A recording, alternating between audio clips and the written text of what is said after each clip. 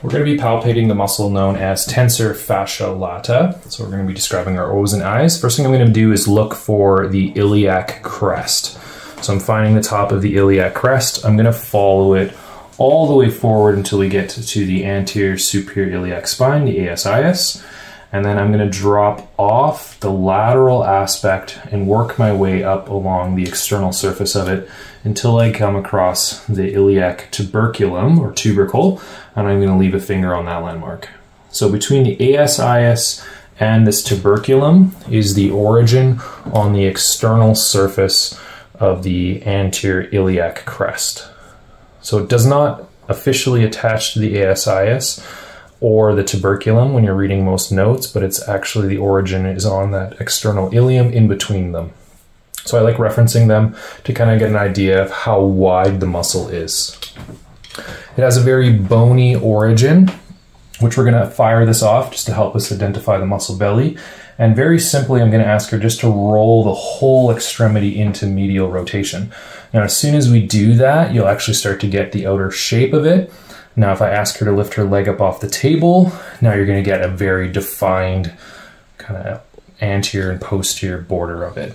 We add the third element is bringing the leg away from her other leg into some abduction. And that again is going to really activate this tensor fascia lata muscle right in here. So I have a nice, easy to palpate muscle belly that I will follow lateral. Let's bring the leg back down. So let's repeat those actions one more time. You ask the person to roll their leg in, medial rotation. You ask them to lift it up off the table in flexion and then push out towards you into abduction. So if you ask them to hold and we keep this leg kind of extended or locked, that'll help us identify and activate this tensor fascia lata. Now all of TFL actually inserts into soft tissue. So as it has a bony origin, it's heading lateral and a little more posterior, and then it's going to put all of its fibers into the iliotibial band, or otherwise known as tract. So the iliotibial band is coming down the whole lateral aspect of the leg.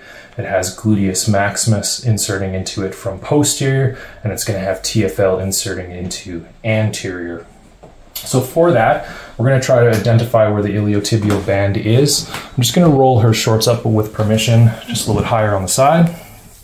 So we'll just fold it in here. Good, like so. Bring the leg back down. I'd like you to, with a locked knee, lift it up and just push out into me.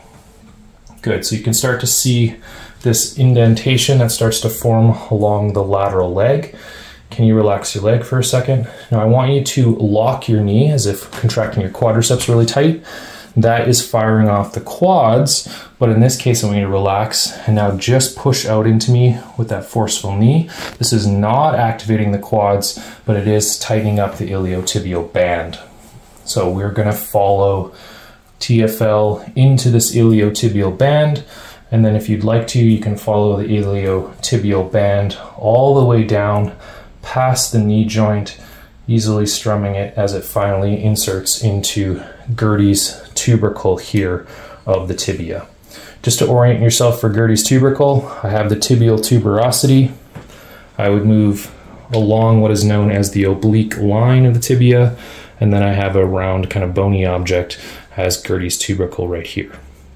So depending on your source book that you're reading for the muscle tensor fascia lata, you might see helps lock the knee as one of its actions. But for the muscle belly itself, we really want to focus on that flexion, abduction, and external rotation of the acetabulofemoral joint. And that's going to conclude our palpation of tensor fascia lata.